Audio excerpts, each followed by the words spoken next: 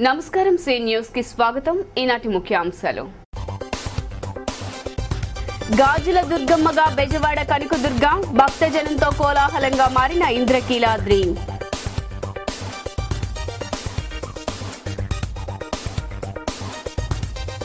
జనసేనలో చేరిన మాజీ మంత్రి పసుపులేటి బాలరాజు పవన్ ప్రజాసేవ నచ్చి జనసేనలో చేరినట్లు వెల్లడి.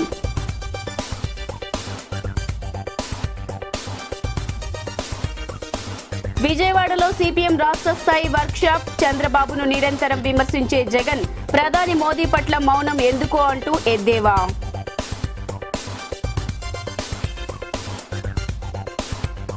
ఎన్నికలప్పుడే బాబుకు బీసీలు గుర్తొస్తారంటూ వైసీపీ బీసీ సెల్ మండిపాటు. రెండు వేల పద్నాలుగు ఎన్నికల మేనిఫెస్టోలో బీసీలకిచ్చిన హామీలపై బహిరంగ చర్చకు రావాలంటూ జంగా కృష్ణమూర్తి సవాల్.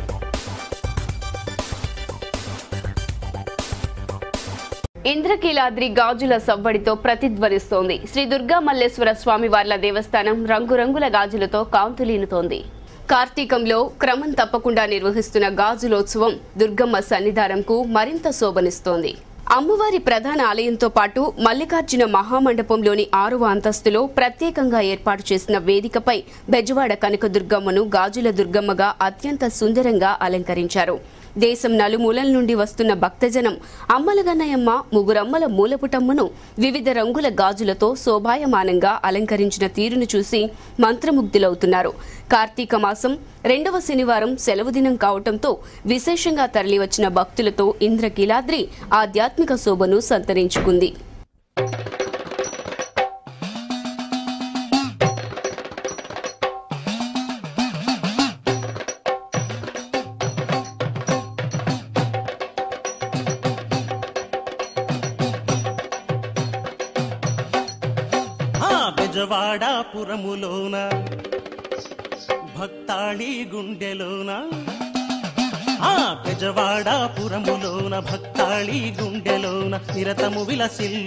విలసిల్లు తల్లి మా పాలి కల్పవల్లి. నీ మహిమ కోకొల్లలు ఎలా మరువగలమమ్మ? నీ మహిమ కోకొల్లలు ఎలా మరువగలమమ్మ? మా దుర్గమ్మ మా దుర్గమ్మ మా దుర్గమ్మ కరుణించమ్మా. మా దుర్గమ్మ మా దుర్గమ్మ దీవించమ్మా. అమ్మా మా దుర్గమ్మ మా దుర్గమ్మ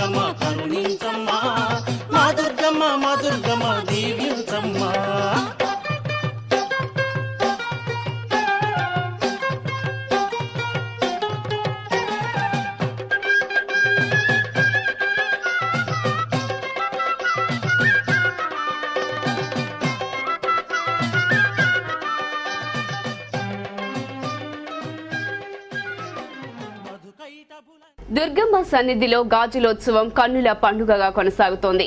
రంగురంగుల గాజులతో శ్రీ దుర్గా మల్లేశ్వర స్వామి వార్ల దేవస్థానం వర్ణరంజితంగా శోభిల్లుతోంది. భక్తులు సమర్పించిన గాజులతో గాజుల దుర్గమ్మగా ఆ జగన్మాత అనుగ్రహిస్తోంది. కోటి గాజుల మహోత్సవం పేరిట చీరాలకు చెందిన వెంకట సీతారామాంజనేయ మహిళా సమాజం కైవల్యాకృతి సేవా సమితి సభ్యులు ఈ ఏడాది అమ్మవారికి గాజులను సమర్పించిన సంగతి తెలిసిందే. ఈ గాజులోత్సవంలో పాల్పంచుకుంటున్న ఆ సభ్యులు దుర్గమ్మ సన్నిధికి విచ్చేసిన భక్తులకు అమ్మవారి ప్రసాదంగా గాజులను పంపిణీ చేస్తున్నారు. తమ సమాజం ఆధ్వర్యాన అమ్మవారి సన్నిధిలో గాజులోత్సవాన్ని నిర్వహించడం ఆనవాయితీగా వస్తుందన్నారు. వెంకట సీతారామాంజనేయ మహిళా సమాజం వారి యొక్క కోఆపరేషన్ అంటే వాళ్ళ గాజులు మా యొక్క ఆర్గనైజేషన్ తోటి ఈ కార్యక్రమాన్ని నాలుగు నెలల నుంచి అనుకున్నామండి. ఈ నాలుగు నెలల్లో కూడా కోటి గాజులు ఇరవై నాలుగో తారీఖు పదో నెల ఇరవై నాలుగో తారీఖు మేము సమర్పించడం జరిగింది. దాని నిమిత్తం అంటే అమ్మవారికి గాజులు ఒకటి సమర్పించేసి పని అయిపోదండి. అమ్మవారికి చేయవలసిన ఉత్సవం ఒకటి చేయాలండి. అందుకని చెప్పేసి అని మేము దాదాపు ఆరు వేల మంది పైన ముత్తైదువుల చేత కుంకుమార్చన లక్ష పసుపు కుంభలార్చన అమ్మవారికి సారె పుష్పయాగం ఇట్లా వివిధ రకాలైనటువంటి పూజా కార్యక్రమాలని మేము నిర్వర్తించదలుచుకున్నాము. ఈ యొక్క కార్యక్రమం ఏంటంటే అమ్మవారికి కోటి గాజులు అనేటటువంటివి విశేషమైన క్రియ అండి. ఇంతవరకు ఎక్కడ జరగనిది. కాబట్టి ఈ కనకదుర్గమ్మ వారికి చీరాల వారి సంకల్పంతో కైవల్యాకృతి సేవా సమితి వారి యొక్క ఆధ్వర్యంతో ఈ కార్యక్రమాన్ని నిర్వర్తిస్తున్నాము. ద్వారా జరుగుతున్న కార్యక్రమం అండి. చీరాల వాళ్ళు కోటి గాజులు సమర్పించారు. అది మా కైవల్యాకృతి ద్వారా జరిగింది. దాన్ని పురస్కరించుకొని మేము ఆ అలంకారం చూడటానికి భక్తులకి ఆ విధంగా కాకుండా ఇంకో విధంగా కూడా చేయాలి. మా కైవల్యాకృతి సంవత్సరం సంవత్సరం ఒక్కొక్క కార్యక్రమం చేసుకుంటూ వచ్చాం. అందుకని ఈ సంవత్సరం ఒక సంవత్సరం బ్రహ్మరాంబ భ్రమరాంబ అమ్మవారికి శ్రీశైలంలో చేశాము. ఒకసారి మన ఇక్కడ అమ్మవారికి మన అమ్మకు మనసారా అని ఈ ప్రోగ్రామ్ స్టార్ట్ చేశాము. అట్లాగా ఒక్కొక్క ఏడాది ఒక్కొక్కటి చేసుకుంటూ వస్తున్నాం. ఇది మూడో ఏడాది. ఈ ఏడాది మూడు రోజులు మన ఈవో గారిని మనం అడిగితే పర్మిషన్ ఇచ్చారు. మూడు రోజుల కార్యక్రమంలో లక్ష పసుపు కుంభకుమల అర్చన వస్త్ర పూజ శ్రీ పుష్పయాగం మూడు రోజులు మూడు విశేష పూజలు కింద పెట్టుకొని కుంకుమ పూజలు సామూహికంగా అందరి చేత చేపిస్తున్నాం. ఇది దీనికి రెండు మూడు బ్యాచ్లులాగా పెట్టుకున్నాం. రెండు బ్యాచ్లు అనుకున్నది కాస్త మూడు బ్యాచ్లుగా కూడా అయ్యారు. భక్తులకి ఏ విధమైన ఆటంకాలు లేకుండా పూజలన్నీ చక్కగా జరుగుతున్నాయండి. అయ్యవార్లు చాలా సహకరిస్తున్నారు. అమ్మకి ఇక్కడ అయిపోయి మేము దర్శనానికి వెళ్తున్నాం. కింద అన్నప్రసాదాలు ఇస్తున్నారు. ఈ అమ్మవారికి ఈవు ఈవో గారికి చాలా చాలా కృతజ్ఞతలు. ఈ కార్యక్రమాలు చాలా జయప్రదంగా జరిగింది. మొదటి రోజే ఇలా బాగుంది. మిగతా రెండు రోజులు కూడా ఇలాగే జరగాలని కోరుకుంటూ కైవల్యాకృతి సేవా సమితి నుంచి సెలవు. ముఖ్యమంత్రి చంద్రబాబు నాయుడు మంత్రి నారా లోకేష్కు తెలిసే అక్రమ మైనింగ్ జరుగుతోందని జనసేన పార్టీ అధ్యక్షుడు పవన్ కళ్యాణ్ అన్నారు. అడ్డగోలు మైనింగ్కు తాము వ్యతిరేకమని ఆయన స్పష్టం చేశారు. బాక్సైట్ మైనింగ్ను ఖచ్చితంగా అడ్డుకుంటామని ఆయన ప్రకటించారు. తాము అధికారంలోకి వచ్చాక బాక్సైట్ మైనింగ్ నిలిపివేస్తామని ఆయన వివరించారు. భారతీనగర్లోని జనసేన కార్యాలయంలో జనసేన అధినేత పవన్ కళ్యాణ్ విలేకరులతో మాట్లాడారు. బాక్సైట్ మైనింగ్ను తమ పార్టీ ఖచ్చితంగా అడ్డుకుంటుందని అన్నారు. సీఎం చంద్రబాబు ఆయన తనయుడు లోకేష్కు తెలిసే అక్రమ మైనింగ్ జరుగుతోందని ఆయన అన్నారు. అడ్డగోలుగా అక్రమ మైనింగ్ సాగుతున్న అంశాన్ని పవన్ కళ్యాణ్ ప్రస్తావిస్తూ ఇలాంటి వాటికి తమ పార్టీ వ్యతిరేకమని ఆయన స్పష్టం చేశారు. ప్రభుత్వం ఇష్టారాజ్యంగా మైనింగ్కు అనుమతులు ఇచ్చిందని ఆయన విమర్శించారు. ఆర్టీజీలో విషయాలు తెలుసుకుని చంద్రబాబుకు మైనింగ్ మాఫియా గురించి తెలియదా అని ఆయన ప్రశ్నించారు. తాము అధికారంలోకి వస్తే బాక్సైట్ మైనింగ్ను నిలిపివేస్తామని ఆయన స్పష్టం చేశారు. వైఎస్ చేసిన తప్పునే చంద్రబాబు కొనసాగిస్తున్నారని అన్నారు. బాధ్యతాయుతమైన మైనింగ్ పాలసీయే జనసేన లక్ష్యమని పవన్ కళ్యాణ్ వివరించారు. మన ఆశయాలు బలంగా ఉంటే విలువున్న రాజకీయ నాయకులు పార్టీలోకి వస్తారన్నారు. భావ సారూప్యత గల వారంతా జనసేనలోకి వస్తున్నారని అన్నారు. చేయగలిగే కెపాసిటీ ఉండి కూడా సమర్థత ఉండి కూడా రాష్ట్ర ప్రయోజనాల కోసం ఇది ప్రత్యేక పరిస్థితులు అని చెప్పి టీడీపీకి సపోర్ట్ చేయడం అలా స్టార్ట్ చేసే క్రమంలో జనసేనకి ఒక ఆర్గనైజేషనల్ ఎబిలిటీ లేదు పెద్ద స్థాయి నాయకులు లేరు టీనేజర్స్ లేదంటే ఇట్లా అనే పరిస్థితుల నుంచి మేమేం నమ్మామంటే మన భారీ బలంగా కానీ ఉంటే మన ఆశయాలు బలంగా కానీ ఉంటే ఇవన్నీ విలువలున్న వ్యక్తులు వస్తారు మన దగ్గరికి. మనల్ని కలుస్తారనే ఒక నమ్మకం నన్ను ముందుకు నడిపించింది ఇప్పుడు.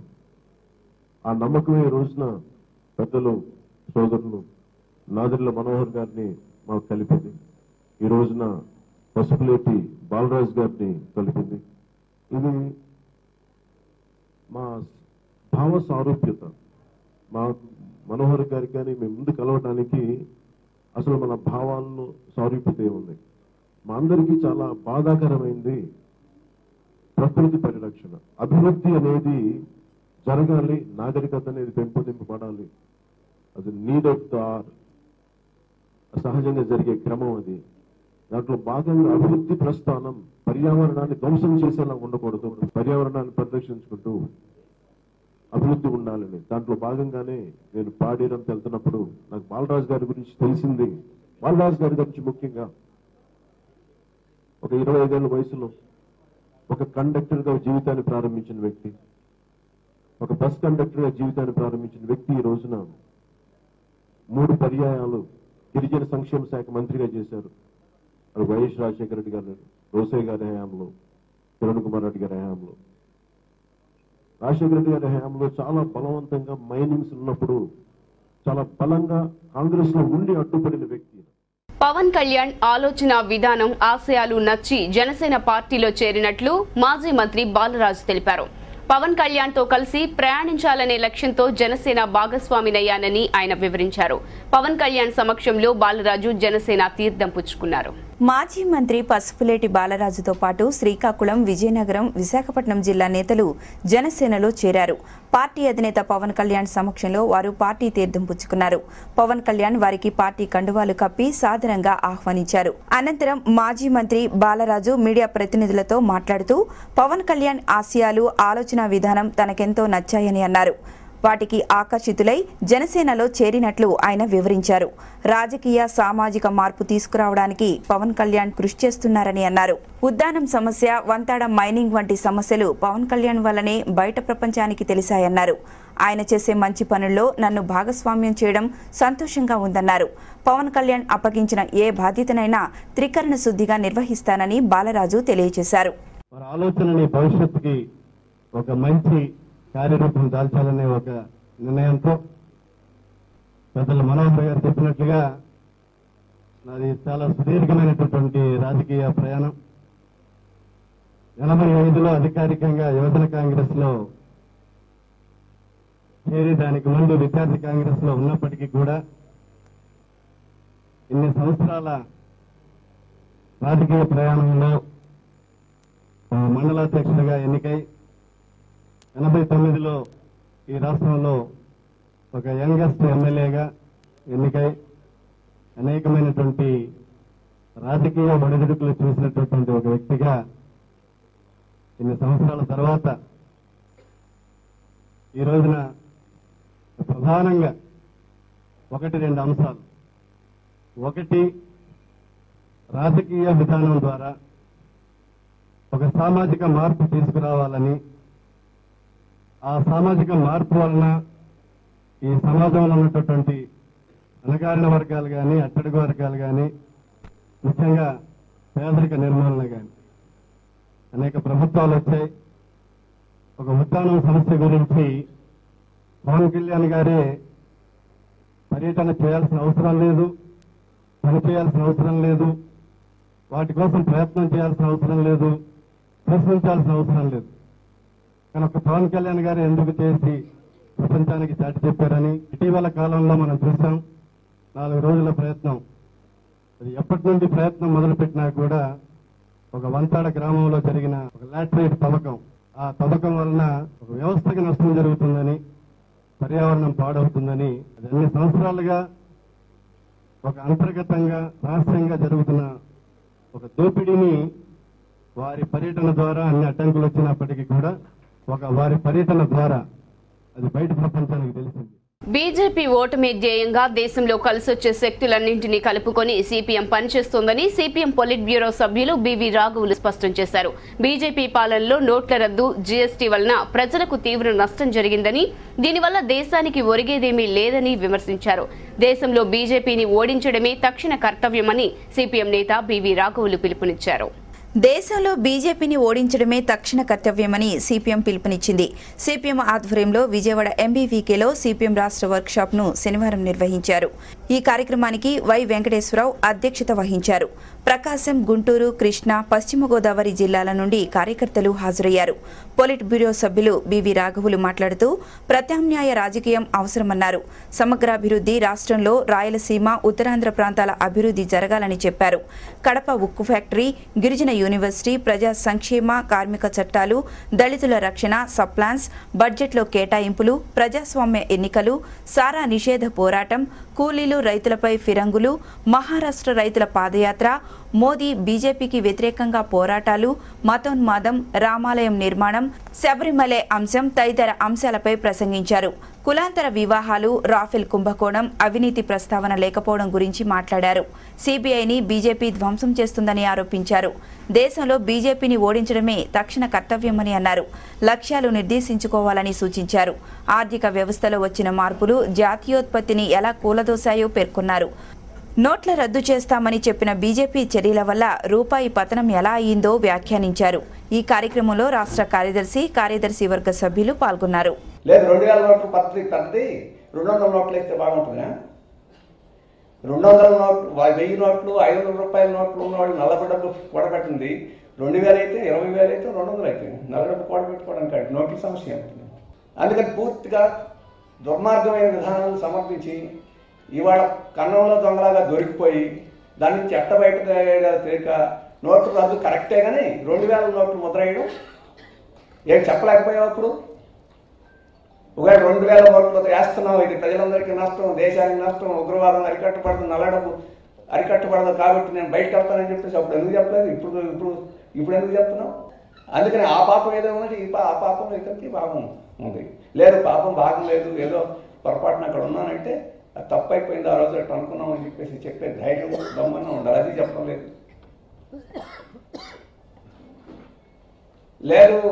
జగన్ ఏమన్నా చెప్తున్నాడంటే ఆయన మౌన వ్రతం. దేనికైనా మౌన వ్రతమే. దేనికైనా చంద్రబాబు మీద మాట్లాడటానికి మౌనం మనకు గొంతు బాగా లభిస్తుంది మోడీ మీద మాట్లాడటానికి మాత్రం మౌనం. ఏం మాట్లాడు అంటే మోడీ మీద అంత ప్రేమ? మోడీ మీద ప్రేమ లేదో ఆయన తెలుసుకుంటాడు. కానీ ప్రజలకి ఎంత అన్యాయం అక్రమం చేసి దేశ ఆర్థిక వ్యవస్థని పూర్తిగా ధ్వంసం చేసిన ఈ డిమానిటైజేషన్ పార్లమెంట్లో ఏం చేసావు? ఇక్కడ ఏం చేసావు? ఇప్పుడు ఏం చేస్తున్నావు? మాట్లాడుతున్నాను అందుకే చెప్పదలుచుకుంది ఈ దీని మీద అయినా గట్టిగా మాట్లాడి ఎదురు తిరిగి ఉద్యమాలు చేసి ఏమైనా చేసింది? నిజాయితీగా చేసింది వామపక్షాలు తప్ప ఇంకోరు కాదు.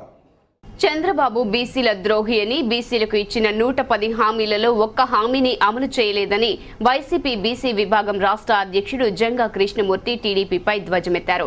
బీసీల సంక్షేమం బీసీలకు ఇచ్చిన హామీలపై చర్చించే ధైర్యం టీడీపీ నేతలకు ఉందా అంటూ వైసీపీ నేత జంగా కృష్ణమూర్తి సవాల్ విసిరారు. ముఖ్యమంత్రి చంద్రబాబు నాయుడుపై వైఎస్సార్ కాంగ్రెస్ నేత రాష్ట్ర బీసీసీఎల్ అధ్యక్షుడు జంగా కృష్ణమూర్తి నిప్పులు చెరిగారు. ఎన్నికల సందర్భంగా చంద్రబాబు చేస్తున్న హడావిడి విడ్డూరంగా ఉందని అన్నారు. పార్టీ రాష్ట్ర కార్యాలయంలో ఆయన శనివారం మీడియాతో మాట్లాడారు.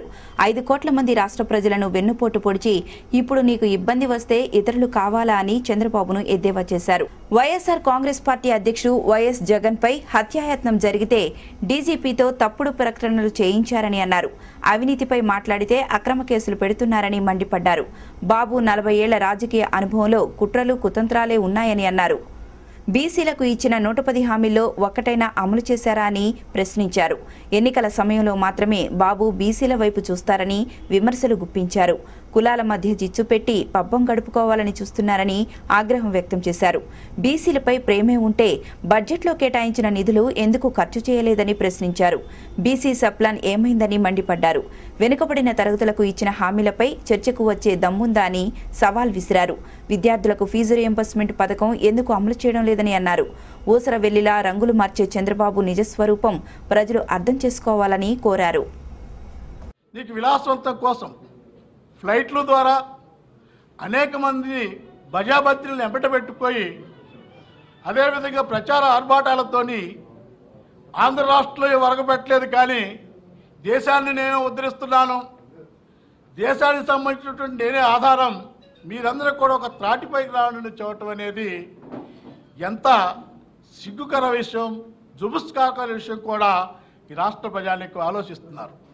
నువ్వు చేసినటువంటి అరాచకాలు నీ యొక్క అవినీతికి సంబంధించి కానివ్వండి ఏ విధంగా ప్రజాస్వామ్యాన్ని మంటలు కలిపావో ఏ విధంగా రాజ్యాంగ విరుద్ధంగా ప్రవర్తించావో వ్యవస్థలో ఉన్నటువంటి సంస్థల మొత్తం కూడా నిర్వీర్యం చేసిన పరిస్థితి ఈ రాష్ట్ర ప్రజానికానికి తెలియదు కాదు. నీ యొక్క ఆర్భాటంతో ఎన్ని ప్రచారాలు చేసుకున్నప్పటికీ ఎంత బాగా కొట్టుకున్నప్పుడు కూడా ఐదు కోట్ల ఆంధ్ర ప్రజానికానికి తెలియదు కాదు. నువ్వు చెప్పేటి మాటలకు కానివ్వండి నువ్వు మాట్లాడేటువంటి విధానాలు కానివ్వండి దేశ ప్రజానీకానికి తెలియదు కానీ అర్థం చేసుకునే టైం పెట్టవచ్చో కానీ ఈరోజు ఈ ఐదు కోట్ల ప్రజానీకానికి మొత్తంగా తెలిసిన విషయం కూడా గుర్తుపెట్టుకోవాల్సిన అవసరం ఉంది. ఇప్పుడు కొద్దిసేపు ప్రకటనలు.